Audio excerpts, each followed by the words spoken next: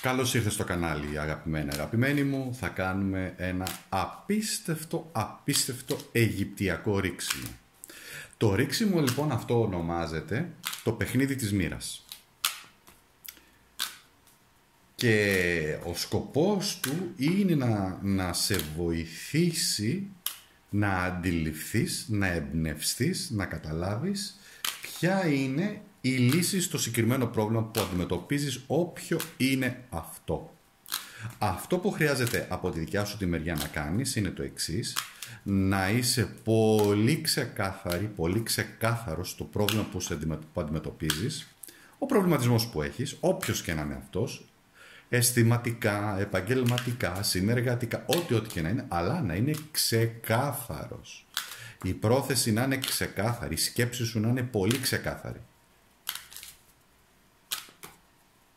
Και αν μπορεί να είναι και ε, σύντομη, δηλαδή να μην είναι μια μεγάλη περιγραφή. Εντάξει, υπάρχουν και κάποιοι άνθρωποι που σκέφτονται λίγο πιο αναλυτικά, ας πούμε, και πιο έτσι ε, η σκέψη τους τραβάει. Όχι, θέλει πιο μαζεμένο και, και εφόσον κάνεις αυτό, δηλαδή βάλεις ποιο είναι το πρόβλημά σου και αυτό που θέλεις εσύ μέσα σου να εξερευνήσεις, θα επιλέξεις μία από αυτές τις πυραμίδες. Μία, δύο, τρεις, τέσσερις. Εντάξει.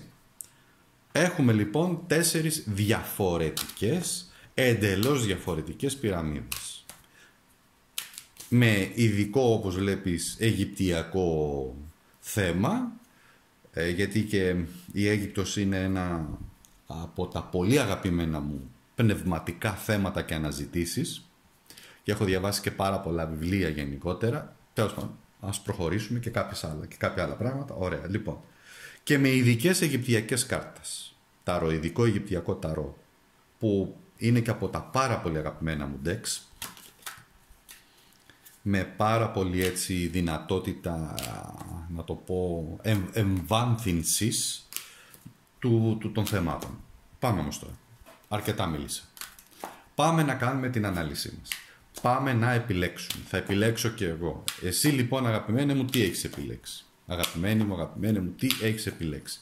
Επαναλαμβάνω, διαλέξεις. Ένα, δύο, τρία ή τέσσερα. Ένα από αυτή, μία από αυτές τις πυραμίδες, εντάξει.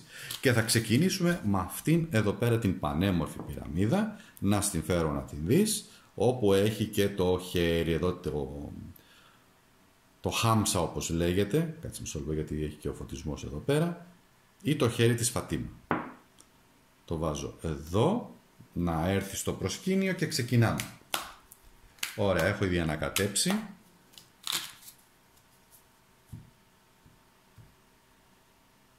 Δώσουμε λίγο χρόνο να συγκεντρωθώ.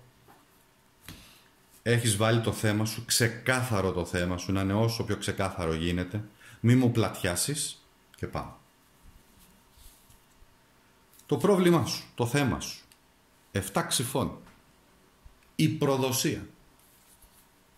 Κάτσε να τις πάω λίγο τις πυραμίδες λίγο πιο πάνω για να έχουμε χώρο. Λοιπόν, είναι η προδοσία.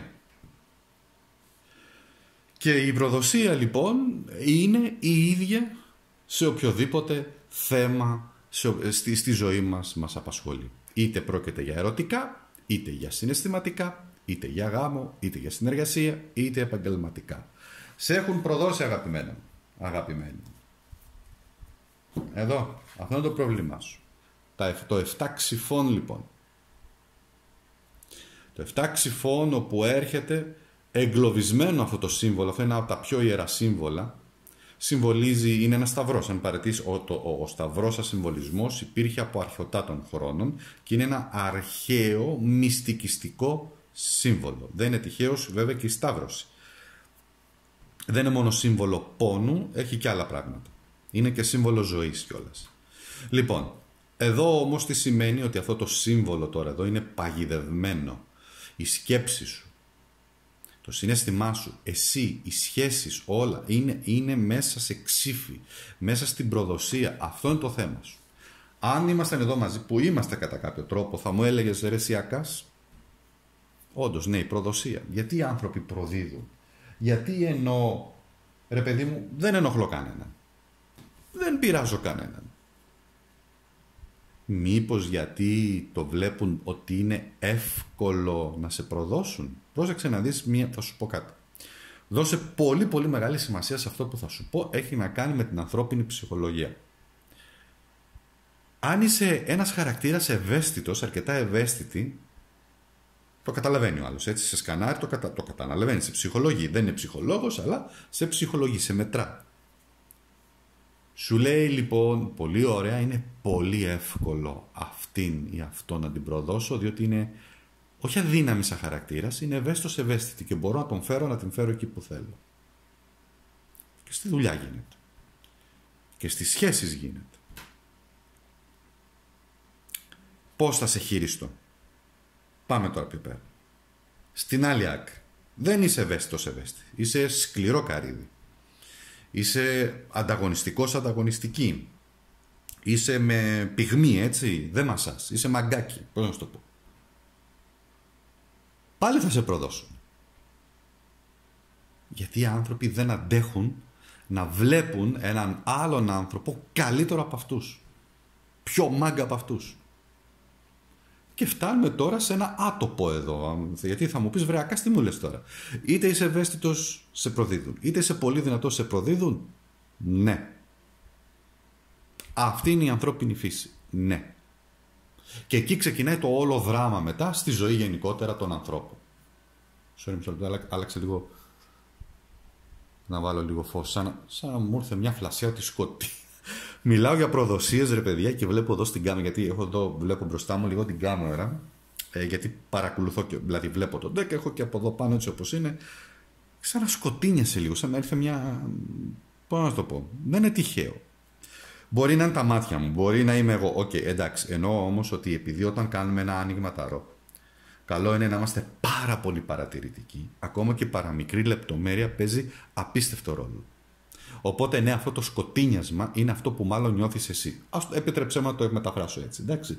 Είναι η δική σου, το δικό σου σκοτίνιασμα, το δικό σου, η δική σου έκφραση, η δική σου ιδέα, άποψη, σκέψη που λες ρε παιδί μου, γιατί να είναι σκοτεινός ο κόσμος. Ε, γιατί είναι σκοτεινός; Είναι άδικος και σκοτεινός. Τελείωσε.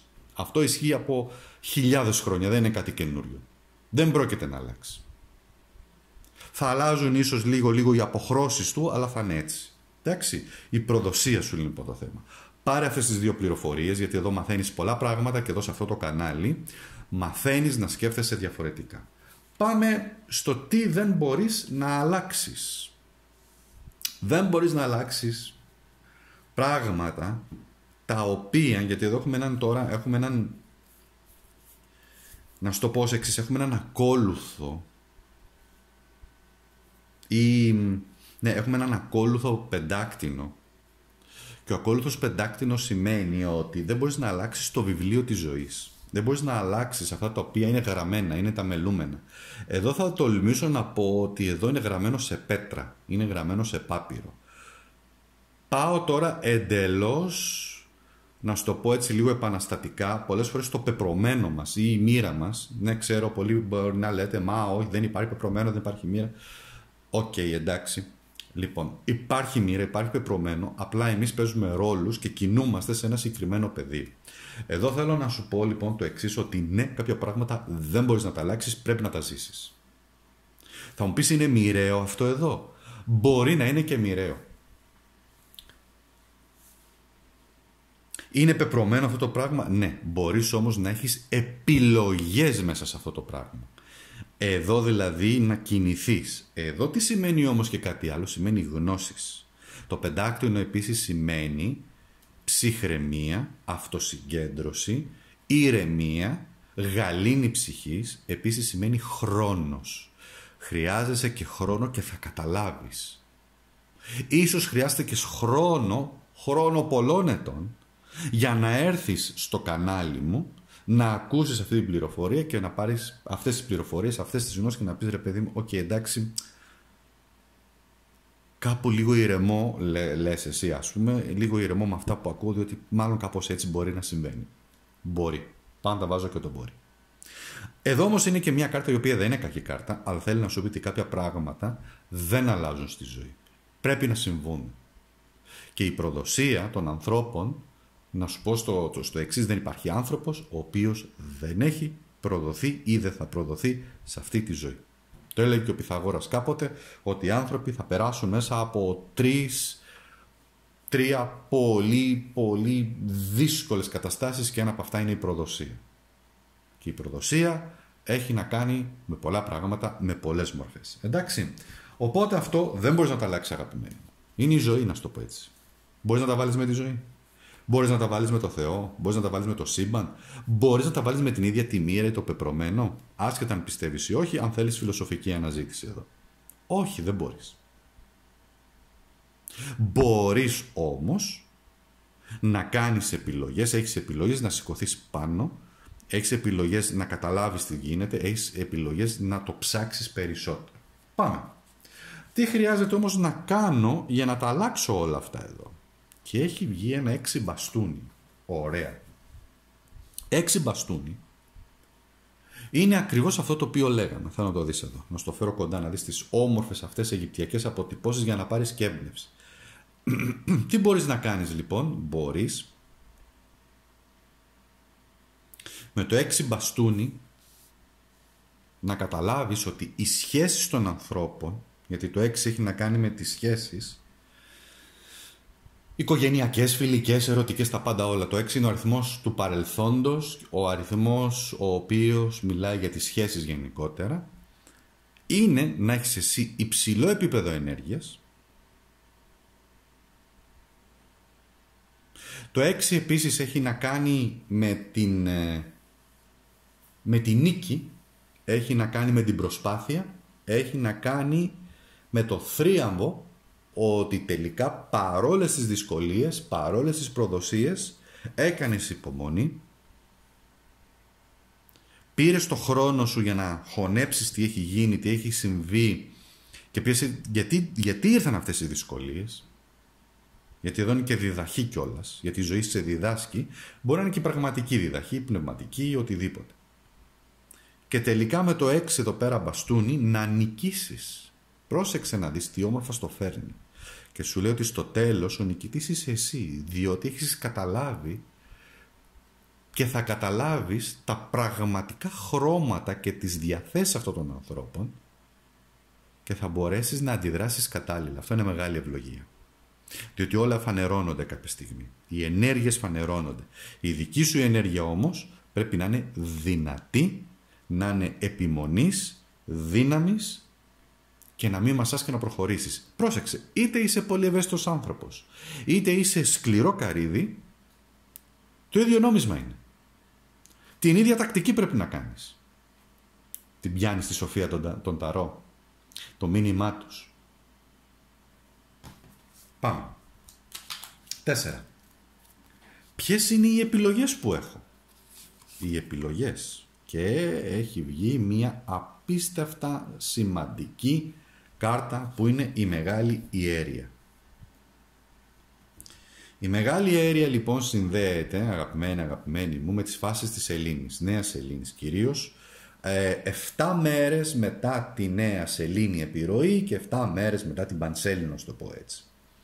Με αποκορύφωμα την τρίτη ημέρα της Νέας Σελήνης και την τρίτη ημέρα της Πανσελίνου να έχουμε πολύ υψηλές δονήσεις και ενέργειες. Ένα πράγμα που δεν καταλαβαίνουν οι άνθρωποι είναι οι συμβολισμοί και ειδικά στην αστρολογία, όπου ο ήλιος επειδή αλλάζει στην ημέρα συμβολίζει τον άντρα, την αρσενική ενέργεια και οι ενέργειες του άντρα που αλλάζουν μέσα στην ημέρα και αλλάζουν και άποψη και αλλάζουν και ε, τακτική κτλ. Και στον μεγάλο κύκλο των 28 ημέρων της γυναίκας, της θηλυκής ενέργειας σε πολλά πράγματα. Σε κύκλος και σε βιολογικό κύκλο κτλ. Εδώ όμως η μεγάλη ιέρεια έρχεται να σου πει ότι όταν καταλάβεις ότι υπάρχουν αυτές οι ενέργειες, γιατί πολλοί άνθρωποι το αμφισβητούν. Σου πούνε σιγά τώρα μην υπάρχει. OK, okay, εντάξει, δεν αφορά αυτούς. Αν είσαι από αυτούς που δεν τα πιστεύουν, ή γυναίκα που δεν τα πιστεύεις, δεν σε αφορά βγαίνεις από την ανάλυση, από το βίντεο, ή αν θες το, το παρακολουθείς και από περιέργεια, είναι ok, αλλά δεν θα μπορέσω να σε πείσω γιατί δεν έχω τέτοιο σκοπό. Εδώ όμως η αρχιέρεια για αυτούς που πιστεύουν, για αυτούς που πιάνουν τις ενέργειες, για αυτούς που έχουν την ευαισθησία και πιάνουν αυτές τις ενέργειες, τις πληροφορίες, έχει να σου πει πολλά πράγματα. Βοήθειες, εσωτερική δυναμική, εσωτερική δυνατότητα, διέστηση δική σου, άνθρωποι και κυρίως γυναίκα που έρχεται στο δρόμο σου, στο διάβα σου για να σε βοηθήσει και να σου ανοίξει τα μάτια. Μ; Διότι εδώ είναι οι επιλογές που έχεις και πάντα στη ζωή. Πρόσεξε να δεις πως έρχεται και γυρνάει πολύ όμορφα αυτό εδώ όταν και αν είναι πεπρωμένο, όταν και αν είναι μοιραίο αυτό που σου συμβαίνει, ενώ μοιραίο δεν μιλάω για τραγικά γεγονότα, έτσι. Μιλάω για νορμάλ, να σου το πω έτσι, γεγονότα καθημερινότητας, καθημερινής ζωής και τρέλας, με συνεργάτες, με τον κόμενο, με το καλό σου, την καλή σου, τον, τον άνθρωπό σου, τα οικογενειακά σου, αυτά μιλάω, έτσι. Και τις δυσκολίες και την προδοσία που σε φέρνουν πρώτον πυλών. Εδώ έχεις επιλογές και μέσα από τις επιλογές μπορείς να επιλέξεις και με τη διέστησή σου λοιπόν και με ανθρώπους που θα σε βοηθήσουν να βρεις τη σωστή λύση και να νικήσεις και να προχωρήσεις. Να τα φέρεις εις πέρας, να τα καταφέρεις δηλαδή. Να νικήσεις τη ζωή. Και στο τέλος έρχονται όλες οι ενέργειες μαζεμένες, όλες, όλες οι ενέργειες μαζεμένες, όλων αυτών των καρτών. Δώσε σημασία τώρα και στους αριθμούς. Εδώ δεν έχουμε αριθμό, έχουμε όμως το 7, το 6, το 2 και το 3. Και το 3 τι έχουμε, έχουμε μια μεγάλη ιέρη. Έχουμε, συγγνώμη, έχουμε την αυτοκράτηρα.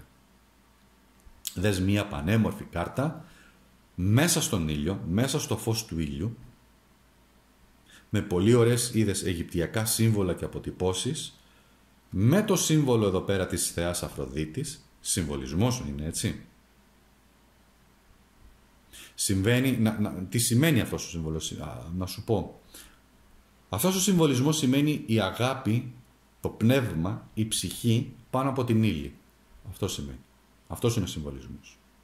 Και επαναλαμβάνω, η αστρολογία είναι ένας βαθύτατος συμβολισμός, λίγοι μπορούν να τον καταλάβουν. Στη σημερινή εποχή δυστυχώς έχει ευτελιστεί και δεν καταλαβαίνουμε λίγο τη γλώσσα του συμβόλου. Τέλος λοιπόν, πάμε όμως εδώ. Η αυτοκράτηρα. Μία κάρτα η οποία είναι πολύ δυνατή ενεργειακά, σε συνδυασμό και με την αρχιέρεια είναι οι θηλυκές ισχυρές ενέργειες οι οποίες έρχονται και μπορούν να αλλάξουν τη ροή σου και να βρεις λύση στο πρόβλημά σου. Στην προδοσία. Ξεκινήσαμε από την προδοσία και κάναμε ένα ταξίδι εδώ και τι έρχεται και σου λέει εδώ; Έλα εδώ να δεις. Θέλω να το δεις. Δες το, πάρ την πληροφορία στο υποσυνείδητό σου που το βλέπεις. Αυτή η κάρτα και αυτή η κάρτα. Πώς αυτό καταφέρνεις λοιπόν και το αλλάζεις και η αυτοκράτηρα σημαίνει ότι έχω περάσει πολλές εμπειρίες, έχω περάσει μέσα από πολλές δύσκολες διαδρομές, έχω περάσει μέσα από πάρα πολλά πράγματα, αλλά η αυτοκράτηρα σημαίνει νίκη. Ωραία. Αυτό. Νίκη. Δεν λέω κάτι άλλο. Παίρνω κι εγώ λίγα δευτερόλεπτα να ξεκουραστώ. Πνευματικά εννοώ, γιατί ήταν για μένα έτσι πολύ δυνατό το ρίξιμο, πολύ ευχάριστο, αλλά μου πήρε και αρκετή ενέργεια. Κάποιος μπορεί να το καταλαβαίνει αυτό που λέω, αλλά εντάξει. Ωραία, εδώ. Πάμε στο επόμενο. Πάμε σε αυτόν τον πολύ, την πολύ όμορφη πυραμίδα, ένας ιδιαίτερος οργονίτης, το βάλουμε εδώ, έρχεται εδώ λοιπόν, είναι η δεύτερη σου επιλογή. Εγώ θα επιλέξω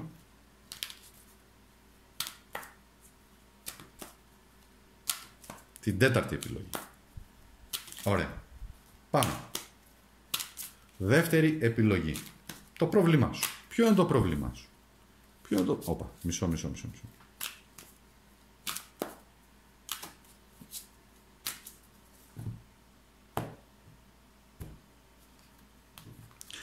Ποιο είναι το πρόβλημά σου εσένα, ποιο είναι αυτό που σε απασχολεί, ποιο είναι το θέμα σου, έτσι; Μπορεί να είναι πρόβλημα, μπορεί να είναι θέμα, μπορεί να είναι οτιδήποτε. Για να δούμε.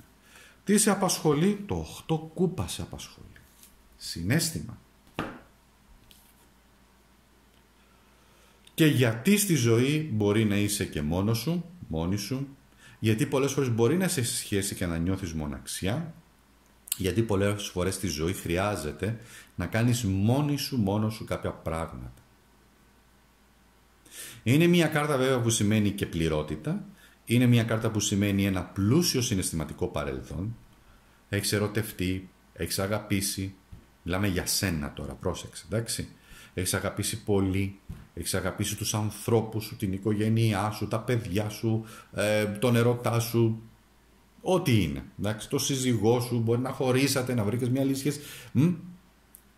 Υπάρχουν άνθρωποι λοιπόν που εσύ πρόσεξε πώς το εννοώ. Εσύ τους έχεις αγαπήσει πολύ.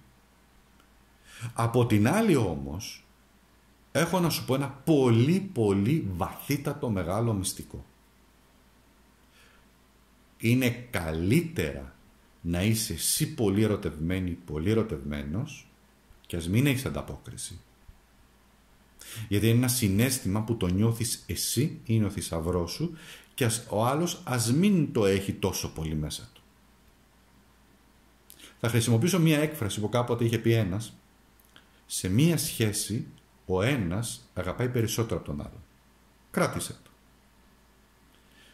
Μπορεί να μην είναι η ίδια η ένταση της αγάπης. Αλλά εδώ σου λέει σε αυτή την αναζήτηση της ζωής προχωράς λοιπόν μόνος, μόνη σου προκειμένου να αναζητήσεις την αγάπη. Είσαι σε μια αναζήτηση το θέμα σου.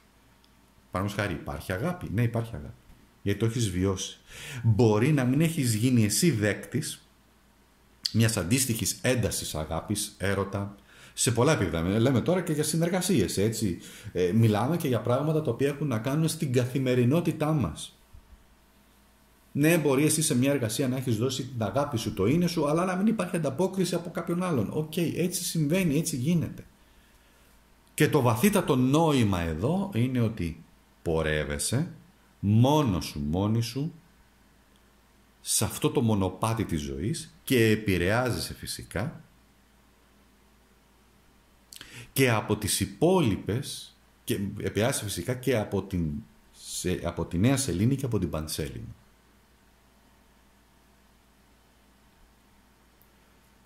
Αυτό τι σημαίνει, αυτό σημαίνει λοιπόν πάλι ότι η ψυχή σου συνδέεται με το κοσμικό σύμπαν, να το πω έτσι, με τη σελήνη, με τις φάσεις, με τις ενέργειες αυτές, διότι όλοι είμαστε ένα, αυτή είναι η φιλοσοφία.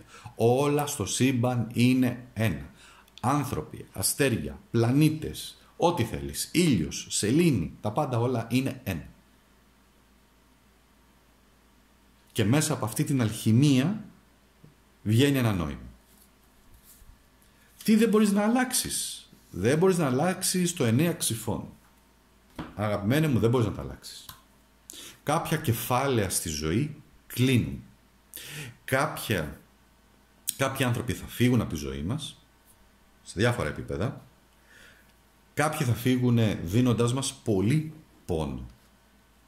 Το εννέα ξυφών δίνει πόνο, δίνει πολύ πόνο, έχει πολύ πόνο. Είναι μία από τις πιο ας το πούμε καταθλιπτικές και στενάχωρες κάρτες, αλλά αυτό όμως δεν μπορεί να τα αλλάξει τη ζωή. Είδες με τι σοφία απαντιέται, τι, με τι όμορφια, με τι σοφία, με τις συμβολισμούς μας απαντάει αυτό το όμορφο άνοιγμα. Η ζωή είναι γεμάτη και αδικία αν θέλεις, είναι γεμάτη και από πράγματα τα οποία έχουν αγωνία, άγχος, πόνο, προδοσίες, φεύγουν άνθρωποι από τη ζωή μας παρόλο που τους έχουμε αγαπήσει πάρα πολύ και τους έχουμε δώσει τα πάντα και στήριξη και φεύγουν. Και βεβαίως εδώ σημαίνει και φεύγουν και από τη ζωή. Κάτι ολοκληρώνεται. Είναι όμως μέρος της ζωής. Εδώ, σε ένα ολόκληρο σύμπαν, καταστρέφονται, να σου το πω έτσι, αυτή τη στιγμή που μιλάμε, εκατομμύρια πλανήτες διαλύονται, καταστρέφονται, με σκοπό να δώσουν το υλικό τους, όπως δόθηκε αυτό το υλικό στο σύμπαν, για να φτιαχτούμε εμείς. Με μια διαδικασία δισεκατομμυρίων χρόνων. Έτσι λοιπόν ακολουθούμε και εμείς τους νόμους, τους πνευματικούς, τους κοσμικούς, τους σύμπαντος. Είναι μέρος όμως, να σου το πω έτσι εδώ, της ζωής να, περνάς μέσα, να περνάμε, να το πω όλοι, περνάμε μέσα από αυτή τη διαδικασία. Κάποια πράγματα τελειώνουν. Πάμε στο επόμενο. Τι χρειάζεται όμως εγώ να κάνω για να αλλάξω; Και έχει βγει λοιπόν εδώ ο κρεμασμένος. Έλα να σου το δείξω. Εδώ δείχνει τη θυσία βεβαίως. Είναι μια Αιγυπτιακή αποτύπωση. Ο κρεμασμένος όμως είναι μια από τις πιο πνευματικές κάρτες. Θα προσπαθήσω να το εξηγήσω με όσο πιο απλό τρόπο γίνεται, Διότι αυτό που χρειάζεται να καταλάβεις είναι ότι υπάρχει κάτι άλλο βαθύτερο σε αυτό το οποίο εσύ μπορείς να περνάς ή σε αυτή τη διαδικασία της ζωής που περνάς ή στη λύση του προβλήματος το οποίο εσύ αναζητάς αυτή τη στιγμή. Μην ξεχνάμε γιατί και ο τίτλος της ανάλυσης, μάλλον του, αυτό το ρίξιμο λέγεται το παιχνίδι της μοίρας. Η μοίρα παίζει παιχνίδια μαζί μας. Δεν είναι όμως για να μας ρίξει, να, το πω, να μας βάλει τριπλοποδιά και να μας ρίξει κάτω. Δεν έχει τέτοια, τέτοιο νόημα η μοίρα ή το πεπρωμένο. Έρχεται να μας διδάξει πολύτιμα πράγματα και σε εμάς και στους άλλους. Εδώ λοιπόν ο κρεμασμένος δηλώνει τη θυσία. Τη θυσία που αναγκάζεται να κάνει, μπορεί να μην το θέλει, άρα μιλάμε για μια θυσία δική σου, μια θυσία στη ζωή που εσύ έκανες και πέρασες, κάτι θυσίασες. Θυσίασες τι να σου πω, θυσίασες πράγματα, θυσίασες ένα γάμο για να βρεθείς με έναν άλλον άνθρωπο, θυσίασες κάτι άλλο, θυσίασες λέω τώρα την οικογένειά σου για να πας έξω να σπουδάσεις, έχει και συμβολισμό εδώ, έτσι, μην το πάρουμε εδώ κυριολεκτικά, αν και έχει και ένα κυριολεκτικό εδώ, αλλά εννοώ δηλαδή ότι κάποια πράγματα στη ζωή μας θυσιάσαμε. Τι θυσια... Ποιο είναι όμως το πιο πολύτιμο αγαθό που θυσιάζει ένας άνθρωπος; Θα μου πεις, όχι, δεν είναι τα συναισθήματα. Δεν είναι οι σκέψεις, δεν είναι, δεν είναι το συνέστημα, δεν είναι το ξενέρωμα, δεν είναι, δεν είναι, δεν είναι, όχι. Είναι ο χρόνος. Ο χρόνος μετράει και περνάει γρήγορα. Και επέλεξες λοιπόν εσύ σε μια ίστατη στιγμή στη ζωή σου και θα επιλέξεις και καλό είναι να επιλέξεις να, να, να ξοδέψεις πολύ σοφά, ορθά και σωστά και με μεγάλη σοφία το χρόνο σου που θέλεις να τον θυσιάσεις. Να σε βοηθήσω λίγο. Τον θυσιάζω στους σωστούς ανθρώπους το χρόνο μου. Τον θυσιάζω στη σωστή εργασία. Τον θυσιάζω στη σωστή σχέση. Θυσιάζω το χρόνο μου, το είναι μου, εμένα δηλαδή, τον θυσιάζω με, με, τον άνθρωπο το σωστό, στην οικογένειά μου. Πατέρας, μάνα, αδέρφια, ξαδέρφια, βάλε ό,τι θέλεις εδώ. Τον θυσιάζω με τους σωστούς ανθρώπους. Σου έχει συμβεί. Δεν ξέρω αν σου έχει συμβεί να πηγαίνεις, να το πάρω πολύ απλά, σε μια κοινωνική εκδήλωση και αυτοί οι άνθρωποι να, να μην έχουν να σου δώσουν απολύτως τίποτα. Ούτε καν σε θέμα διασκέδασης. Ούτε καν ένα αστείο. Κενό. Μπορεί να σου έχει συμβεί. Μπορεί να είναι ακριβώς σε πάρτι, μπορεί να είναι ακριβώς σε μια. Αυτό μπορεί κάπου να έχεις πάει και να είναι ο άλλος να μην σου δίνει, να μην σε γεμίζει. Να μην σε γεμίζει. Άρα λοιπόν το μήνυμα εδώ είναι να, να, να ψάξεις, να θυσιάζεις το χρόνο σου, το είναι σου, τον εαυτό σου με ανθρώπους οι οποίοι θα σε γεμίσουν συναισθηματικά αλλά και νοητικά και δεν θα σε αδειάσουν. Διότι οι άνθρωποι εδώ είναι και επιθετικοί. Κάποια ε, απέναντί σου, γιατί αυτή το 9, το 9 ξυφών έχει και μια πολεμική χρειά. Εντάξει, έχει και μια πολεμική έτσι, ενέργεια.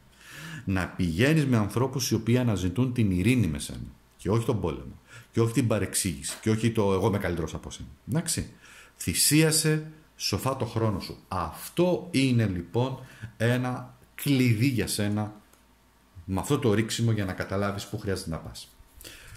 Τι εναλλακτικές έχω και έχει βγει η αυτοκρατήρα. Και βεβαίως έχεις εναλλακτικές. Και όχι όμως έχεις εναλλακτικές, είναι και πολύ δυνατές αυτές οι εναλλακτικές. Η αυτοκράτηρα συμβολίζει σχέσεις, δώσε σημασία στις σχέσεις οι οποίες έχουν νόημα για σένα επέλεξε ορθά σοφά. Εδώ επίσης επειδή έχει να κάνει και με ενέργεια μην συρρυκνώνεσαι, μην αφήνεις τους ανθρώπους να σε συρρυκνώνουν ενεργειακά και η αυτοκράτηρα σημαίνει αυτό ακριβώς που σημαίνει και ο συμβολισμός. Έχω δύναμη. Έχω εσωτερική δύναμη. Και πάλι λέω, δεν έχει σημασία αν είσαι ευαίσθητος, ευαίσθητη, υπερευαίσθητος, υπερευαίσθητη ή πολύ σκληρό καρύδι ή είσαι, έχεις τη στόφα του πασαλιμανιού να σου το πω έτσι, είσαι δηλαδή... Δεν έχει σημασία. Σημασία έχει πώς εσύ αντιδράς και θα αντιδράσεις με δύναμη σε αυτές τις συνθήκες. Και μια αυτοκράτηρα θα αντιδράσει και με τσαμπούκα αλλά και με ψυχραιμία. Θα αντιδράσει και με, και με σκληροπυρηνικό τρόπο, δεν θα μασίσει, θα αντιδράσει όμως και με ελιγμό. Βάλ τα κάτω και θα δεις πως η αυτοκράτηρα είναι πραγματικά πολύ δυνατή διότι παρόλο που μπορεί απέναντί της να είναι σκληρή κάποια άλλη και ανταγωνιστική εκείνη διατηρεί την ψυχραιμία αλλά δεν θα μασίσει και θα απαντήσει όπως πρέπει. Το πιάνεις το νόημα. Αυτό είναι όλη η ιστορία. Και πάμε στο τελευταίο να δούμε μία κάρτα που είναι το άθροισμα όλων αυτών των ενεργειών, των καρτών. Γίνεται. Και γίνεται με ένα 7 πεντάκτηνο. Έχεις ευλογίες. Πώς συνεχίζουμε; Το 7 πεντάκτηνο σημαίνει ότι εδώ αυτό το ρίξιμο μιλάει πολύ για χρόνο. Εντάξει. Έχουμε τη σελήνη, έχουμε το, τη το, το χρόνο που, που, που θυσιάζεις, έχουμε την υπομονή εδώ, έχουμε την αυτοκράτηρα. Είναι χρόνια αυτή εδώ πέρα. Αυτά τα νούμερα είναι και χρόνια. Το 8, το 12, το 3, το 7, το 9 είναι και χρόνοι. Δες εσύ πώς αυτά δονούνται σε σένα. Οι, μέ, οι μέρες, ημερομηνίες, έτος, χρόνια, προσωπικές χρονιές, πεπρωμένα, δρόμοι, αριθμός ψυχής, οτιδήποτε. Άκου τώρα να δεις. Το 7 πεντάκτηνο όμως είναι ε, μια κάρτα καλή. Πάλι όμως έχει ένα ερώτημα. Ένα ερώτημα έχει. Και το ερώτημα που έχει είναι αξίζει τον κόπο να περιμένω; Αυτό είναι το μυστικό αυτής της κάρτας. Έχει και άλλα μυστικά έτσι. Το 7 πεντάκτηνο επίσης σημαίνει χρόνος, διότι ο χρόνος που απαιτείται να ανθίσουν, δηλαδή εδώ στην ουσία στην κλασική ταρό δείχνει έναν γεωργό ο οποίος τι έχει κάνει, έχει φυτέψει το σπόρο και βλέπει λεφτόδεντρα. Δεν είναι ακριβώς μια κάρτα που σημαίνει λεφτά, ε, σχετίζεται φυσικά και με τα λεφτά, όμως όταν έχουμε και τέτοιες κάρτες και σε τέτοια ρηξίματα σημαίνει χρόνος και σημαίνει υπομονή. Ξέρω, θα μου πείτε, μα πόσο πια υπομονή. Ναι, χρειάζεται. Στους ανθρώπινους γήινους χρόνους και κυρίως σε κάποιους ανθρώπους ο χρόνος βεβαίως εξαρτάται. Ναι, εννοείται. Κάποιος μπορεί να θέλει τρεις μήνες, κάποιος άλλος μπορεί να θέλει τέσσερις μήνες. Εντάξει, είναι όμως χρόνος. Τρεις μήνες, τέσσερις μήνες. Είναι ένας σημαντικός χρόνος. Δεν είναι μία μέρα, δεν είναι δύο μέρες. Για αυτούς τους προβληματισμούς που έχεις για σχέσεις, για ανθρώπους, ε, για να χτίσεις εσύ τον εαυτό σου, δεν θα γίνει από τη μία μέρα στην άλλη. Διότι θα περάσεις μέσα από, το, από την πύλη της ζωής, αλλά έχεις ευλογίες όμως. Το 7 σημαίνει έχεις ευλογίες, έχεις χάρισμα, έχεις χαρίσματα, έχεις ικανότητες, οι οποίες αυτές μπορεί να χρειαστούν χρόνο για να βγουν στην επιφάνεια και να τις χτίσεις. Εδώ επίσης σημαίνει και σπουδές, μπορεί να σημαίνει κατανοήσεις, σημαίνει πηγαίνω και σε κάποια πράγματα και κάνω στη ζωή μου, σπουδάζω κάτι, μαθαίνω κάτι καινούριο, αλλά έχει, έχει όμως και την ευλογία. Είσαι ευλογημένη είσαι ευλογημένος.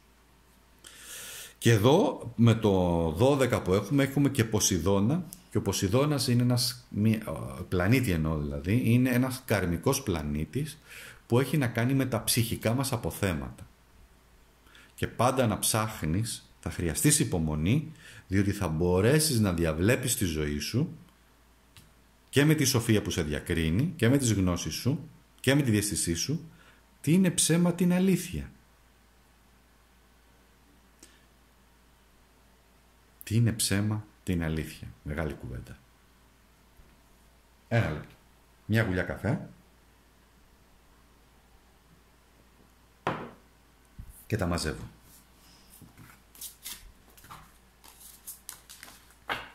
Όσοι έχετε επιλέξει την τρίτη επιλογή, την τρίτη πυραμίδα, ιδιαίτερη, μικρή, αλλά με ένα αρχετυπικό πανέμορφο σύμβολο ενεργειακών κέντρων, ανθρώπινων ενεργειακών κέντρων, το βάζω, ωραία, να, να επανέλθει λίγο, το βάζω εδώ και πάμε λοιπόν να δούμε, ένα λεπτό να ανακατέψω, την τρίτη επιλογή.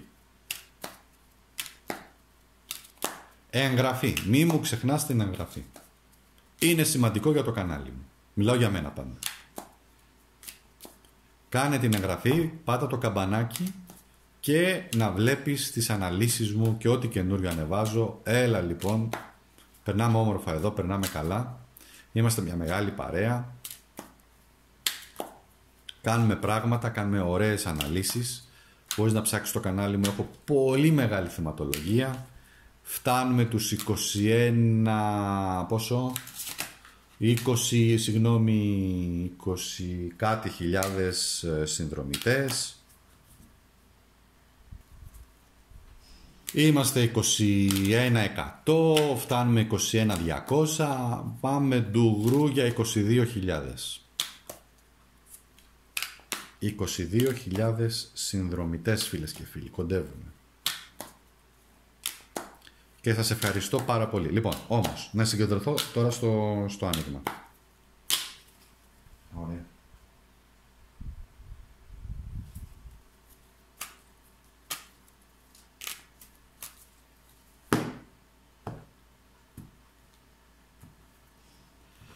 Πάμε.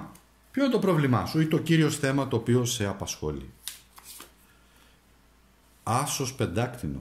Mm. Ρε φίλε, καινούρια ξεκινήματα μου λες. Καινούρια ξεκινήματα λοιπόν. Άσος πεντάκτηνο, μια πανέμορφη κάρτα. Έλα να σε φέρω κοντά να τη δεις. Τι είπα; Είπα άσος πεντάκτινο. Άσος μπαστούνι. Αν είπα άσος πεντάκτινο, για κάποιο λόγο μου ήρθε, μου ήρθε η εικόνα του πεντάκτινου. OK. Okay. Μπορεί να έχει να κάνει με τα οικονομικά σου όμως συνδέεται με τον άσο μπαστούνι, αν είναι αυτό, διότι αν θέλεις να βελτιώσεις τις οικονομικές συνθήκες, το λέω σαν τώρα έτσι παρένθεση, χρειάζεται ενέργεια ό,τι και αν κάνεις, υψηλή ενέργεια. Εδώ σημαίνει και πάθος για ζωή και πάθος για δουλειά και πάθος στη ζωή μας και ερωτική πράξη και, και αισθησιασμός και με το, πώς το λένε, και, και χαρά και επικοινωνία και, ε, και μαζί με τους ανθρώπους, με τον καλό σου, την καλή σου και ένας έρωτας μεγάλος και φιλία, όλα, όλα, όλα, όλα έρχονται εδώ. Το μυστικό είναι λοιπόν αγαπημένε μου, το θέμα σου, είναι η υψηλή ενέργεια.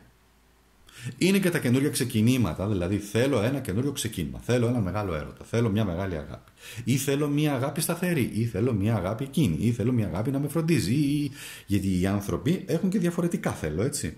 Ή θέλω μια καινούρια δουλειά που να μου φέρει καλά χρήματα. Ή θέλω να κάνω κάτι άλλο, βαρέθηκα. Ή θέλω να κάνω κάτι γενικά στη ζωή μου η οποία θα με γεμίσει. Μπορεί να μην έχει σχέση, μπορεί να μην ενδιαφέρεσαι για σχέση αυτή την περίοδο. Παίζει και αυτό εννοείται. Επειδή οι άνθρωποι είμαστε διαφορετικά πλάσματα, έχουμε, αν και τα θέλω μας στην ουσία είναι όμοια, εσύ πρέπει όμως να βρεις, έχεις τη δυνατότητα να βρεις και να ξεκινήσεις αυτό το οποίο θέλεις. Μην μου πεις όμως κάτι extreme, δηλαδή θέλω να πάω να, να, να, πώς το πω, να ανέβω στην κορυφή του βουνού του Everest. OK, okay, εντάξει, θέλει απίστευτη προετοιμασία, δεν μπορούν όλοι να το κάνουν.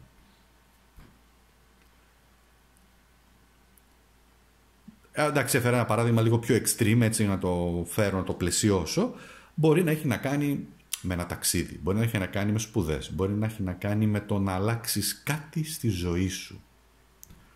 Αν δε, εδώ σημαίνει θέλει ενέργεια όμως και θέλει απόφαση. Αν, δε, αν εσύ ενεργειακά μέσα σου δεν το πάρεις απόφαση, και όταν λέω ενεργειακά εννοώ σε πολλαπλά σημεία. Να σου το εξηγήσω. Νοητικά, ψυχολογικά, συναισθηματικά και σωματικά. Όταν όλε οι αισθήσεις σου, όλες μα όλες πραγματικά, δεν συνηγορούν σε αυτή την αλλαγή, δύσκολα έρχεται η αλλαγή. Πολλές φορές λέμε μην το πολύ σκέφτεσαι. Όχι. Το σκέφτεσαι, αλλά η καρδιά σου δεν είναι έτοιμη. Η ψυχή σου δεν είναι έτοιμη, το σώμα σου δεν είναι έτοιμο. Αν αυτά δεν συντονιστούν, ε, δεν ευθυγραμμιστούν, ε, πώς θα προχωρήσεις για να γίνει, να ξεκινήσεις να ανοίξεις τα φτερά σου και να πετάξεις; Δεν θα ανοίξεις τα φτερά σου. Εντάξει, αυτό είναι το θέμα σου τα καινούργια πράγματα, τα, τα, τα καινούργια ξεκινήματα, κάτι καινούριο στη ζωή. Τι δεν μπορείς να αλλάξεις.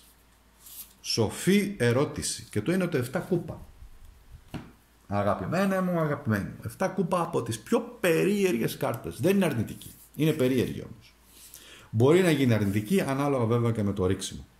7 κούπα σημαίνει ότι δεν μπορείς να αλλάξεις το γεγονός ότι έχεις κληρονομικό χάρισμα. Όποτε πέφτουν τα εφτάρια, αυτό σημαίνει. Έχεις όλες τις ευλογίες, έχεις, τι να σου πω, θες από Αγίους, θες από ψυχές που μπορεί να έχουν φύγει και σε ευλογούν. Μ; Θέλεις τι θέλεις, το σύμπαν που σε αγαπάει, ο Θεός, οι άγγελοι, θέλεις ότι έχεις πάρει χαρίσματα, σου έχουν δώσει, δεν ξέρω, η μάνα σου, ο πατέρας σου, η γιαγιά σου, ο παππούς, πιο πίσω μέχρι και 7 γενναίες κάτι έχεις, κάτι έχεις πάρει. Στο έχουν δώσει. Και στο έχουν δώσει σε αυτή την ενσάρκωση. Εδώ και τώρα, σε σένα. Μπορεί να μην το πιστεύεις, μπορεί να μην το εμπιστεύεσαι, μπορεί να μην, να μην το πατάς καλά. Και έχει να κάνει με την ψυχή σου, με το συνέστημά σου, και έχει να κάνει με εκείνες τις ικανότητες όπου μπορείς να, να, να δεις μέσα από αυτούς τους 7 συμβολισμούς, μέσα από αυτά τα 7 επίπεδα, μέσα από τα 7 τσάκρας, μέσα από τις 7 άβρες, πώς να σου το πω, μέσα από τα 7 πέπλα του σύμπαντος, να δεις πολλά πράγματα. Μπορεί να βγαίνεις από το σώμα Μπορεί να κάνεις astral projections, δεν ξέρω να το γνωρίζει αυτό να κάνεις διαστρικές, διαστρικά ταξίδια. Ακούγεται παράξενο αστρικά, αστρικά ταξίδια, ναι. Σε άλλα επίπεδα εννοώ δηλαδή. Μπορεί να συνδέεσαι και να παίρνεις πληροφορίες, να κοιμάσαι και να σου έρχονται μηνύματα. Εκείνη τη στιγμή που, είσαι, που κάθεσαι μια χαρά στο γραφείο, σου έρχεται μια εικόνα και σου λέει πρόσεχε αυτό, μπαμ, ή, ή ένας αριθμός, ένας συμβολισμός ή κάτι, εν πάση περιπτώσει. Αυτό δεν μπορείς να το αλλάξεις διότι είναι το DNA σου. Επίσης εδώ, αυτή, αυτή, εδώ πέρα, αυτή εδώ πέρα η κάρτα σου μιλάει και για κάτι άλλο το οποίο χρειάζεται και μια ιδιαίτερη προσοχή. Είναι και οι 7 προκλήσεις που, μπορείς να, που μπορεί κάποιος από εσάς να αντιμετωπίσει στη ζωή του με σκοπό όμως τι, πρόσεξε τι, να ενισχύσεις το χαρισμά σου. Μπορούν να βρεθούν άνθρωποι που θα σου φάνε ενέργεια, Μπορεί να βρεθούν άνθρωποι οι οποίοι θα σε στραγγίξουν το, το υγρό εδώ, το νερό που υπάρχει, το σώμα μας, είναι το εσωτερικό μας που ρέει. Και να σε στραγγίξουν πραγματικά, να σου κλέψουν την ενέργεια, να στη ρουφάνε με τοξικό τρόπο, με ζήλια, καχυποψία. Δεν, δεν, δεν έχουν έρθει, δεν έχεις, τους έχει στείλει ο Θεός αυτούς για να σου κάνουν κακό με την έννοια, πώς να το πω, κακό κακό. Έχουν έρθει ώστε εκείνοι δεν το ξέρουν, αλλά εσένα να σε ενισχύσουν να σε μάθουν. Έχει να κάνει με τις επιθυμίες, πρόσεξε τι επιθυμίες εύχεσαι. Έχει να κάνει, δηλαδή, έχει να κάνει με την υγεία σου, έχει να κάνει με τα αποκτήματα, έχει να κάνει επίσης με το τι ονειρεύεσαι εσύ στη ζωή σου. Διότι εδώ το, θα το συνδυάσω, τι ονειρεύεσαι για να ξεκινήσεις. Και αν αυτό που ονειρεύεσαι μπορεί να γίνει. Αν μου πεις θέλω να γίνω εκατομμυρίουχο, να κερδίσω τον Τζόκερ, σε πληροφορώ, αυτή την επιθυμία την κάνουμε όλοι και την κάνω κι εγώ.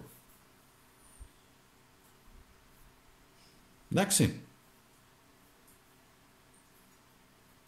Λοιπόν, γιατί είμαστε άνθρωποι και φυσικά εννοείται και ποιος δεν θα ήθελε να έχει οικονομική ας πούμε άνεση.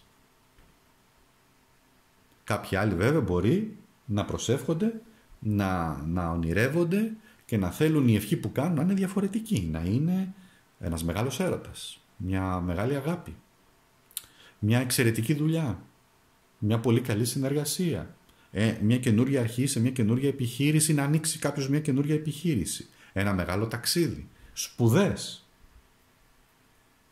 Να, κάποιος θέλει να σπουδάσει, να ξεκινήσει να σπουδάσει. Κάποιος θέλει να μάθει αστρολογία, κάποιος θέλει να μάθει τάρο.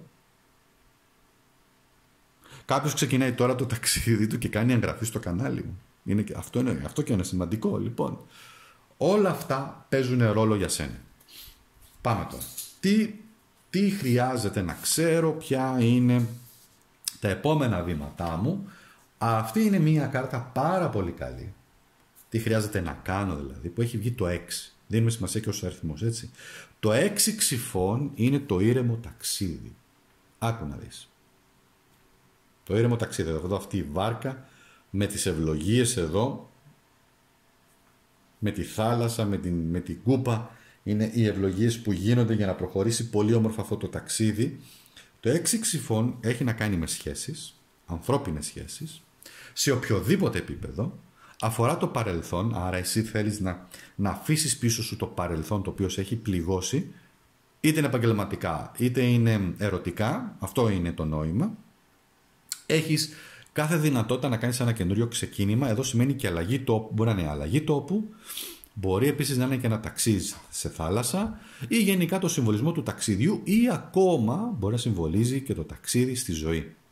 Το ταξίδι της ζωής έχει και πίκρα, διότι εδώ αυτή η κάρτα έχει μία λεπτομέρεια, ένα μήνυμα. Σημαίνει πέρασα πίκρα, πέρασα στεναχώριες, τώρα είμαι καλύτερα από ό,τι ήμουν προηγουμένως και είμαι έτοιμος, έτοιμη να κάνω το ταξίδι μου, να κάνω μια καινούργια αρχή και να κάνω το ταξίδι μου.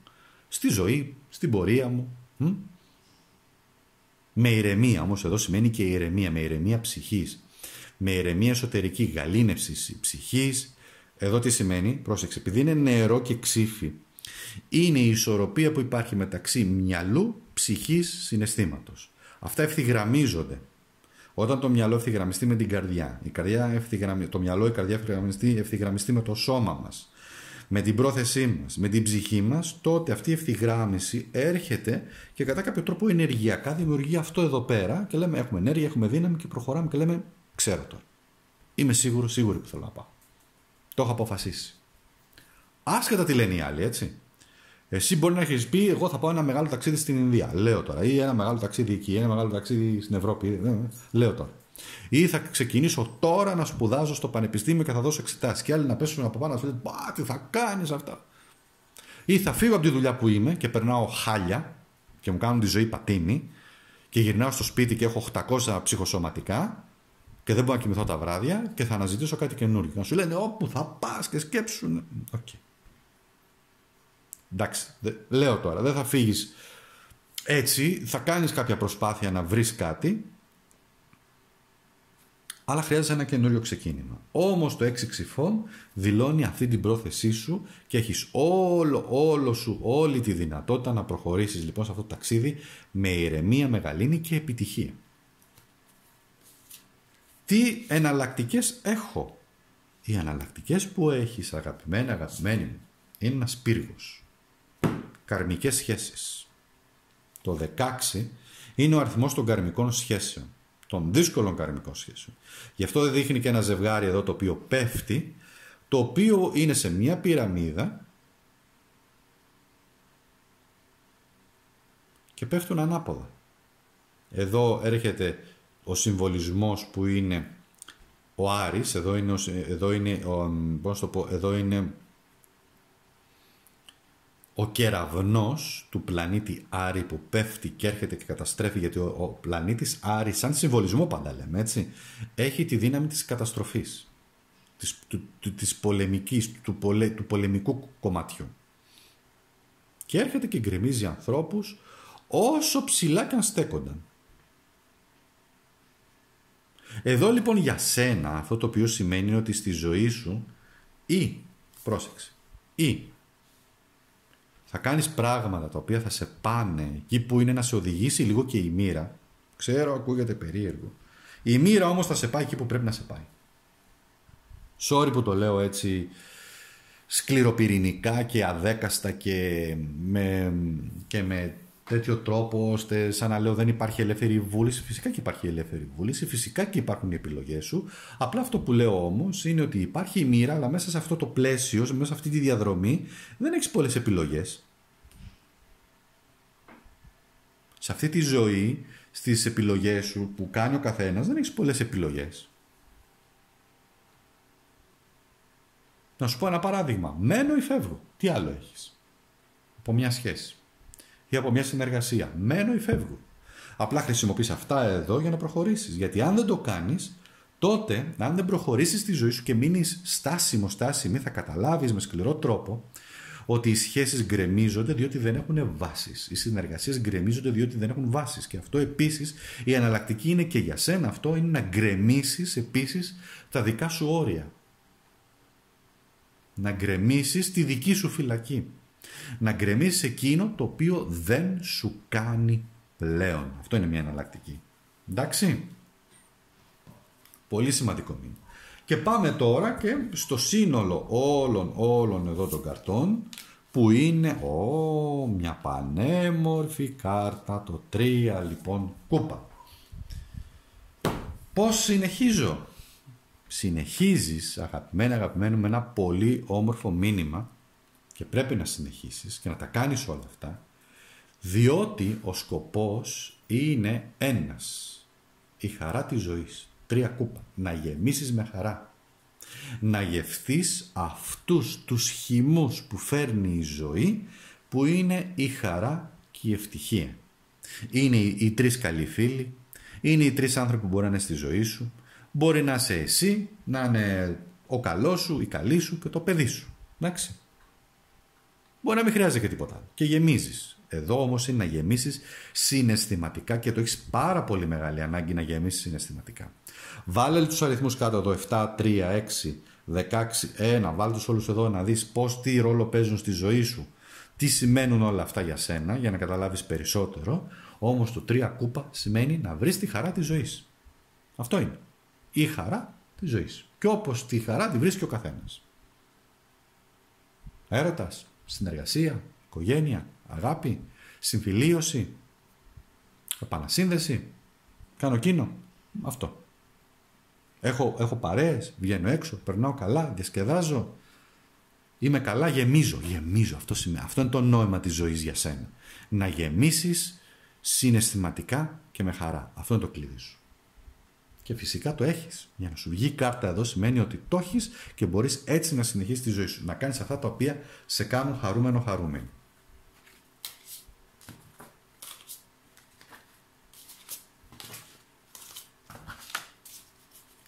Ωραία.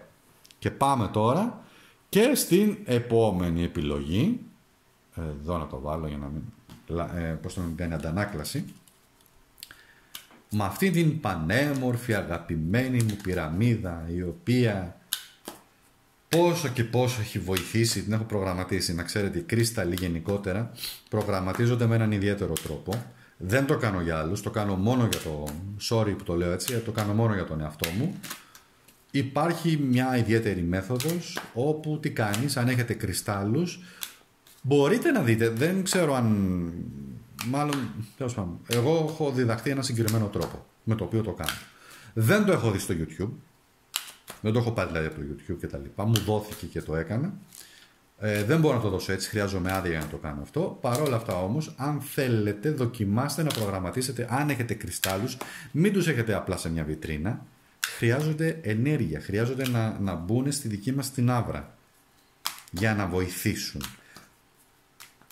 Να βοηθήσουν τι; Να βοηθήσουν να ξεκαθαρίσουν, να ξεκαθαρίσει, να καθαρίσει η ενέργεια, μετατροπή της αρνητικής ενέργειας σε θετική. Υπάρχουν τέτοια πράγματα. Προστασία. Ωραία. Στην ουσία, ένας πολύ απλός τρόπος, ο οποίος είναι και ανώδυνος, τι μπορείτε να κάνετε, είναι απλά κρατάτε διαλογιστικά, να σας το πω έτσι, την, την, το κρίσταλ που μπορεί να έχετε, με πολύ αγάπη και με πολύ, έτσι, το πω, σύνδεση, πρέπει να συνδεθείτε. Αν νιώσετε ροή ενέργειας, κάψιμο, ζέστη, τότε είστε σε πάρα πολύ καλό σημείο. Και εκεί που θα το νιώ, όταν αρχίσετε και νιώσετε, μπορεί να είναι δηλαδή κάτι σαν μαγνητισμός, κάτι σαν ζέστη, μπορείτε να πείτε, θέλω να σε προγραμματίσω, ε, εγώ, ο ή η τάδε και τα λοιπά, που έχω γεννηθεί την τάδε του μήνα, ώστε να μετατρέπεις τις αρνητικές ενέργειες σε θετικές. Να είστε ξεκάθαροι όμως. Έτσι, πείτε το τρεις φορές. Αν δεν βγαίνει και δυσκολεύεστε, τότε σημαίνει ότι η επιβεβαίωση που λέτε η πρόθεσή σας δεν είναι τόσο ξεκάθαρη. Πρέπει να ζητήσετε και την άδεια βέβαια. Ζητάω την άδεια από σένα, κρίστα λετάδε, όπω λέγεσαι, πυραμίδα, χαλαζίας. Εγώ τάδε ή τάδε έχω, που με λένε έτσι, έχω γεννηθεί, ε, πώς το λένε έχω γεννηθεί τότε, να σε προγραμματίσω ώστε να με προστατεύεις από αυτό. Συγκεκριμένα πράγματα. Και το βλέπετε. Αν δεν λειτουργήσει, προσέξτε, αν δεν λειτουργήσει, κάτι έχει γίνει λάθος στη διαδικασία. Καθαρίστε τον κρίσταλο, πάλι με πρόθεση, πες σε καθαρίζω από οποιαδήποτε προγραμματισμό ή ευχή, και θέλω να σε ξαναπρογραμματίσω. Πάρτε λίγα λεπτά. Χρειάζεται αυτή η διαδικασία να συνδεθείτε μέσα από καρδιά και, και, και νόηση, νοητικά και κάτι διαδικασία. Αυτό. Ωραία. Πάμε τώρα. Α, όχι, δεν πάμε. Τι λες; Δεν πάμε ακόμα. Τι έπεσε εδώ όμως; Μάλιστα. Έχει πέσει το 10. Ωραία. Το βάζω εδώ σαν εξτρά γιατί έπεσε μόνο του, είναι το 10 κούπα. Μάλιστα, 10 κούπα. Το βάλω γιατί είναι διπλό το μήνυμα.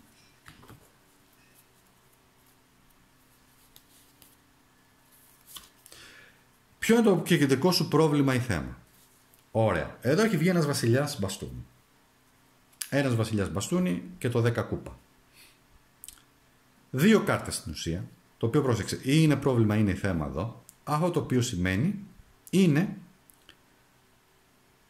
κυρίως θέματα και προβλήματα με την αρσενική ενέργεια και κυρίως με θέματα, να σου το πω έτσι, οικογένειας, γάμου, προβληματισμοί. Εντάξει. Δεν είναι ότι υπάρχουν τεράστια προβλήματα εδώ, ενώ όμως ότι αυτό είναι το κυρίως σου θέμα. Άρα είναι δύο τα θέματα μας εδώ.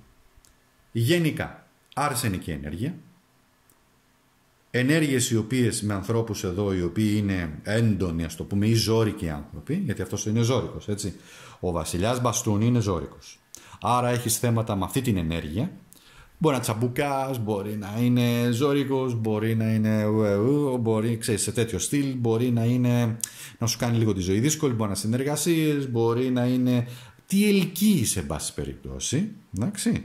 Έντονοι άνθρωποι, εδώ είναι έντονοι άνθρωποι, έντονες προσωπικότητες, οι οποίοι εξωτερικεύονται και εξωτερικεύονται με πολύ επιθετικό τρόπο. Μπορεί να είναι αυτό το θέμα σου ότι δεν τους αντέχεις αυτούς τους ανθρώπους. Πάσο. Και το δεύτερο θέμα σου είναι επίσης τα θέματα της οικογένειας. Σου παίρνουν χρόνο, προβληματίζεσαι, λες ρε παιδί μου, τι να κάνω εδώ τώρα, τι αποφάσεις να πάρω. Μπορεί να σου ζητείτε επίσης και κάτι άλλο. Να γίνεις εσύ έτσι. Είτε είσαι άντρας είτε γυναίκα σημαίνει να, να ανεβάσεις ενέργεια και να προχωρήσεις και να γίνεις πρόσεξε, όχι να αλλάξεις, δεν εννοώ να αλλάξεις εντελώς. Μην ξεχνάς ότι όλα είναι αλχημικά. Χρησιμοποιούμε κάποιες ενέργειες σε συγκεκριμένες περιπτώσεις. Όταν απειληθεί η ζωή σου, τι θα κάνεις, δεν θα φωνάξεις, δεν θα, θα προσπαθήσεις να, να αντεπιτεθείς, να προστατεύσεις τον εαυτό σου με οποιοδήποτε μέσο. Δεν ανεβάζεις ενέργεια, δεν μπαίνεις σε μια διαδικασία ε, επιβίωσης. Εδώ λοιπόν αυτό θέλει να σου πει ότι να μπει σε μια τέτοια διαδικασία, όχι επιβίωσης, σε μια διαδικασία να αλλάξω λίγο την ενέργειά μου. Μπορεί ήδη και να το κάνεις. Και βεβαίως έχεις και αρκετούς προβληματισμούς σχετικά με την οικογένεια, με τα παιδιά, αν τα κάνεις σωστά, αν ε, ξέρω εγώ τον πατέρα σου, τη μητέρα σου, αν, τα, αν έπρεπε να κάνεις αυτά που έπρεπε ή αν χρειάζεται κάτι άλλο να κάνεις ή με τα παιδιά σου ή, ή εκεί που είσαι ή ακόμα και με, και με τη δουλειά. Γιατί εδώ έχει να κάνει και με τη δουλειά. Εδώ μπορεί να είναι ένας πατέρας, ένας προϊστάμενος μαζί με το προσωπικό του. Γιατί ναι, υπάρχει το αρχέτυπο της οικογένειας μέσα σε μια εργασία. Τώρα το τι φίδια θα βγούνε μετά από εκεί είναι ένα άλλο θέμα, έτσι. Αλλά σε προβληματίζουν πολύ αυτά τα δύο πράγματα. Έχεις έντονους προβληματισμούς. Τι δεν μπορείς να αλλάξεις; Δεν μπορείς να αλλάξεις το 10 ξυφών. Όχι φίλε, δεν μπορείς να τα αλλάξεις. Το 10 ξυφών είναι όλα εκείνα τα οποία έρχονται άνθρωποι και σε μαχαιρώνουν πισόπλατα. Άνθρωποι οι οποίοι σε ζηλεύουν, άνθρωποι οι οποίοι σε κάθε ευκαιρία που θα βρούνε θα σε χτυπήσουν πισόπλατα ή και μπροστά και πισόπλατα με οποιοδήποτε τρόπο, αυτό δεν μπορείς να το αποφύγεις. Και γι' αυτό προβληματίζεσαι. Όμως το μήνυμα εδώ που βγαίνει και πρόσεξε πάλι συμβολισμούς εδώ, άλλο το 10 αυτό, άλλο αυτό το 10 σαν να προβληματίζεσαι και λες ρε παιδιά, γιατί αυτό το 10, γιατί αυτή η προδοσία και όχι αυτό εδώ πέρα να είμαστε καλά; Δεν μπορούμε. Ε, δεν μπορούμε. Όχι, δεν μπορούμε. Υπάρχουν άνθρωποι σε οποιοδήποτε επίπεδο όπου όταν δουν ότι προχωράς και πετυχαίνεις θα, θα σε πολεμήσουν, θα σε κυνηγήσουν και αν ακόμα εσύ δεν το κάνεις μέχρι αηδίας στα επαγγελματικά. Μη μου πεις στα επαγγελματικά σου ότι όλα είναι εξαιρετικά. Μη μου πεις ότι δεν σε έχουν προδώσει, δεν έχουν πετάξει φήμες, δεν έχουν μιλήσει πισόπλατα για σένα, δεν έχουν γίνει κουβέντες που εσύ δεν ήσουν παρόν παρούσα. Μη μου το πεις αυτό, όπου και να είναι. Φυσικά και έχουν γίνει. Και φυσικά εννοείται ότι χρειάζεται εσύ εδώ να έρθεις, να ανεβάσεις ενέργεια, να μην συρρυκνωθείς με τίποτα, γιατί έχεις και υποστήριξη βέβαια, Έχεις και ανθρώπους που σε αγαπάνε και σε πίσω στην πλάτη σου έχεις ανθρώπους που σε αγαπάνε. Αυτό είναι το. Γιατί πρόσεξε εδώ, εδώ ο βασιλιάς τους αντιμετωπίζει. Δες εδώ. Τα, τα, τα, τα ξύφη που σου πετάνε ή που μας πετάνε, θέλεις, στην ουσία δεν μπορούν να σου κάνουν τίποτα. Πιάνεις το νόημα. Γιατί εδώ αυτός επίσης έχει και το χάρισμα όχι που μπαίνω τώρα. Έχει και το χάρισμα να σου το πω έτσι της ενεργειακής προστασίας. Ενεργειακής προστασίας. Ευλογίας. Και φυσικά έχει και το χάρισμα, γι' αυτό μίλησα προηγουμένως και για κρυστάλλους και πώς τους ενεργοποιούμε και το χάρισμα να μετατρέπει την αρνητική ενέργεια σε θετική ή να την ξορκίζεις στο σύμπαν και να πηγαίνεις στο σύμπαν και το σύμπαν ξέρει τι κάνει. Ο Θεός ξέρει τι κάνει. Μάλιστα. Όχι, δεν μπορείς να το αποφύγεις. Όσο προχωράς στη ζωή σου, είσαι ευτυχισμένος, θα σου έρθουν τέτοιοι άνθρωποι. Θα στην πέσουν κανονικότατα. Όσο προχωράς και είσαι πετυχημένος επαγγελματικά, θα στην πέσουν κανονικότατα. Έλα μωρέ, ο τάδε, τάδε. Έτσι είναι. Όσο προχωράμε, είναι η ανθρώπινη φύση. Εσύ όμως ξέρεις τι μπορείς να κάνεις και πού μπορείς να στηριχθείς. Αυτό είναι το νόημα. Τι χρειάζεται όμως να κάνουμε, να κάνουμε, να κάνεις γενικότερα, με όλα αυτά γενικότερα στη ζωή σου και να προχωρήσεις; Χω, χω, χω, χω, χω, χω, χω. Ιεροφάντης. Από τις πιο πνευματικές κάρτες, με τον αριθμό 5, με απίστευτους συμβολισμούς. Α, συγγνώμη, δεν είναι ο Ιεροφάντης. Τώρα γιατί είπα Ιεροφάντη, γιατί μου ήρθε αυτός, δεν είναι τυχαίο. Ο Ιεροφάντη συμβολίζει και τον παπά, συμβολίζει και την ενέργεια, συμβολίζει την προστασία. Ο αυτοκράτορας, είτε άντρας είτε γυναίκα, έχεις πολλά καλαμπαλίκια να σου το πω έτσι. έχεις πυγμή, έχεις κύρος, έχεις δύναμη έχεις γνώσεις, έχεις λογική, έχεις ψυχραιμία, πρόσεξε να δεις, έχεις ψυχραιμία. Όταν είσαι ψύχρεμος, ψυχραιμή, δεν μπορεί να σε διασπάσει τίποτα. Κράτησε το αυτό. Βεβαίως όταν χρειαστεί, θα έχει εκείνο το βλέμμα, το οποίο θα δείξει, δεν φοβάμαι ρε μάγκα. Δεν σε φοβάμαι ρε. Έτσι ακριβώς θέλει να γίνεις πολλές φορές αλάνι πραγματικά. Δεν ξέρω αν έχετε μπει ποτέ σε τέτοια διαδικασία, να έχεις γίνει αλάνη. Ε, ή αν έχεις ζήσει σε κάτι γειτονιές οι οποίες χρειαζόταν πάντα να είσαι και σε εγρήγορση αλλά και πολύ έτσι δυνατός, δυνατή, μη σου έρθει και στο σχολείο έτσι, το λέω γενικά. Αλλά εδώ αυτός ο αυτοκράτορας αυτό σημαίνει. Θα γίνω αλάνη θα γίνω γυναίκα ντερμπεντέρισα, να το πω έτσι, όταν δω ότι έρχονται τα δύσκολα. Δεν μασάει αυτός εδώ.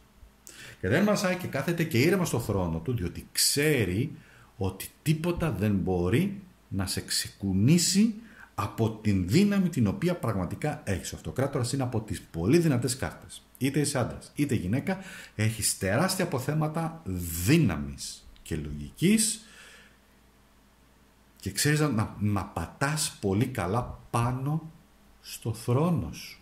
Θέλουν να σε εκθρονίσουν, το έχεις καταλάβει.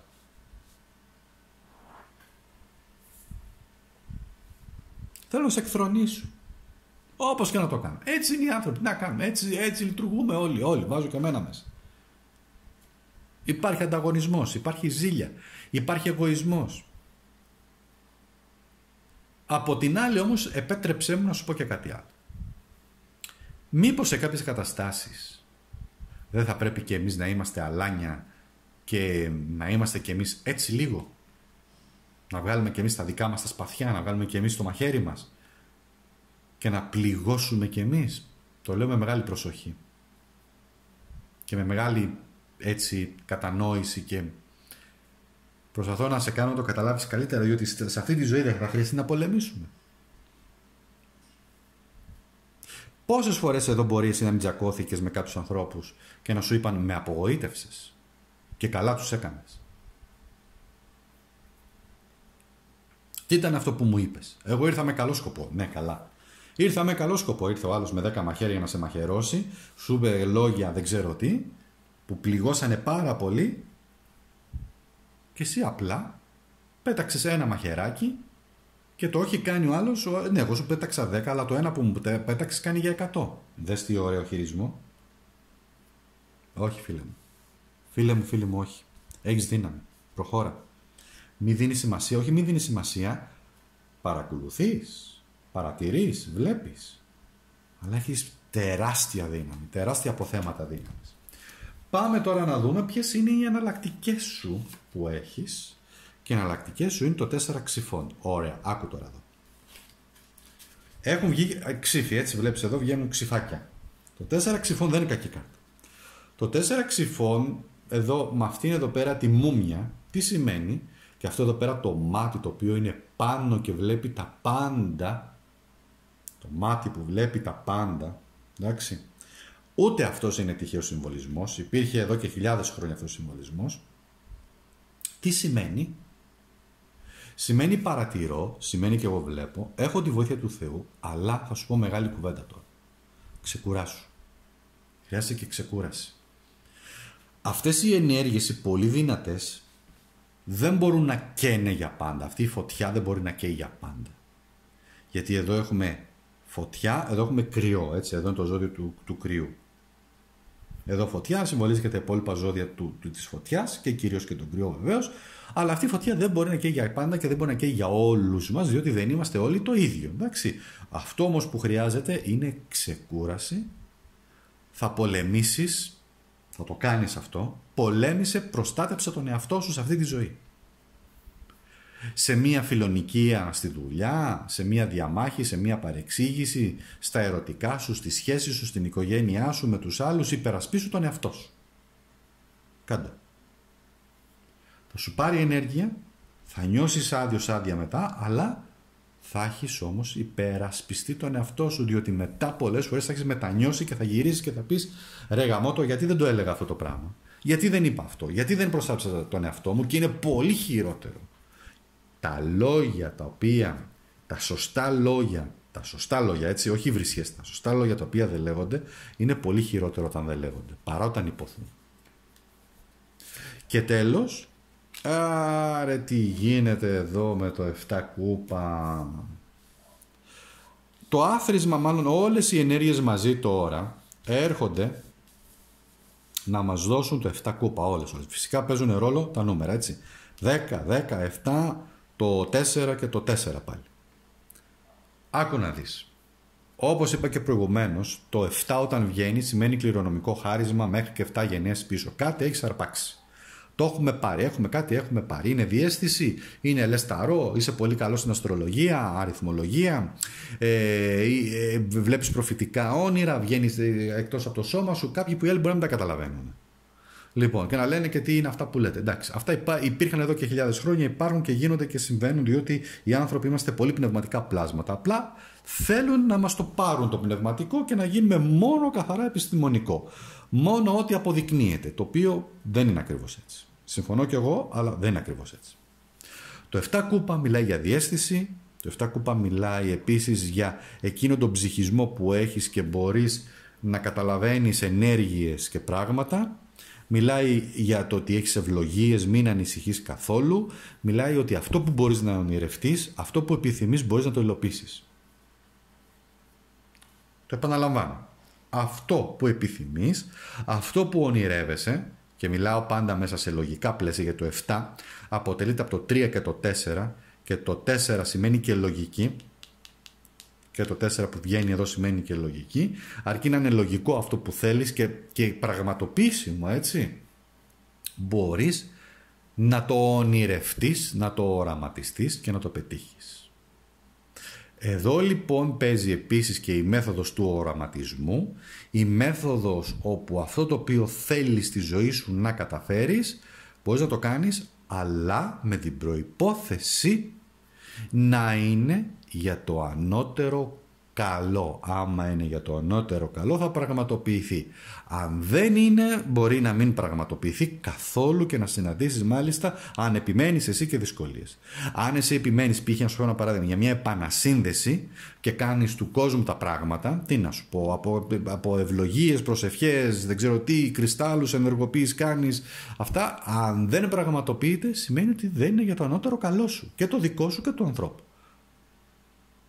Δεν μπορείς αιμονικά, να σου το πω έτσι, να επιμένεις σε κάτι το οποίο δεν μπορεί να υλοποιηθεί. Ναι, μπορεί να υπάρχουν από πίσω άλλα πράγματα, καταλαβαίνω, αλλά δεν μπορεί. Δεν μπορεί. Ή να επιμένεις, να σου το πω εσύ, ξέρω εγώ, να κλείσει η δουλειά του αλουνού για να ανέβω εγώ να επιβιώσω και να βγάζω χρήματα, να κλείσει το μαγαζί του αλουνού. Δεν μπορείς, αν δεν είναι για το ανώτερο καλό και να κάνεις εσύ ό,τι να κάνεις. Διότι πάντα οι άνθρωποι, όπως εσύ έχεις ένα προσωπικό σχέδιο ζωής, έτσι έχουν και οι άλλοι και δεν είναι τυχαίο που το λέω αυτό, πρέπει να το σεβαστούμε αυτό. Πρέπει να το σεβαστείς όλοι μας. Ο καθένας έχει τη διαδρομή του. Όπως και να το κάνουμε. Άλλος θα πετύχει, άλλος δεν θα πετύχει. Και ναι, είναι και αυτό που λένε, μα γιατί ο, αυτός πέτυχε, εγώ δεν πέτυχα. Μπορεί να ήταν και λάθος οι επιλογές σου ή χρειάστηκε να περάσεις από τις λάθος επιλογές για να μάθεις. Γιατί πήγε αυτός ο οποίος είναι χαζός, το λέμε έτσι όλοι μας, ηλίθιος, βλάκας, δεν ξέρω τι, και έχει γίνει αυτή τη στιγμή, ε, ε, έχει ανέβει και τον θεωρούν στην εταιρεία ότι είναι ο καλύτερος ή η καλύτερη. Θα πήγε με κάποιον, θα κάνει κάτι. Ε, μπορεί να βρει και έναν τρόπο, μπορεί να βρει και μια λύση, δεν το ξέρεις. Μπορεί να είναι και λύση ανάγκης και να μην είχαν κάποια άλλη λύση. Για κάποιο λόγο δεν είδαν εσένα όμως. Όμως, μιλάω για λογική τώρα εδώ, όμως εδώ, λογική δηλαδή στο τι ονειρεύεσαι, εδώ σημαίνει υλοποίηση. Έχεις μεγάλη δύναμη να το υλοποιήσει.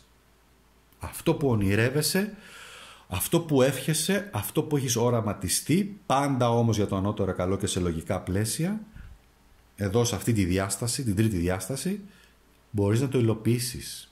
Ενώ δηλαδή, όταν λέω σε αυτή τη διάσταση, είναι το ονειρεύεσαι, ε, ενώ δηλαδή να είναι υλοποιήσιμο και να είναι λογικό και να μην αφορά κάτι το οποίο χρειάζεται, πώς να το πω, να επέμβεις εσύ ενεργειακά σε άλλες διαστάσεις. Με άλλο τρόπο. Μπορείς να το υλοποιήσεις. Σου προτείνω να δεις, οπωσδήποτε, διάλεξε ένα εννέα, να το δεις αυτό το ρίξιμο, το οποίο είναι στο κανάλι μου, θα μάθεις πάρα πολλά πράγματα και θα σου πρότεινα επίσης και το σως έρχονται πολύ σημαντικές ευκαιρίες για όλα τα ζώδια. Μπες και δέστα. Εμείς τα λέμε σύντομα. Εγγραφή. Μη μου ξεχάσεις την εγγραφή.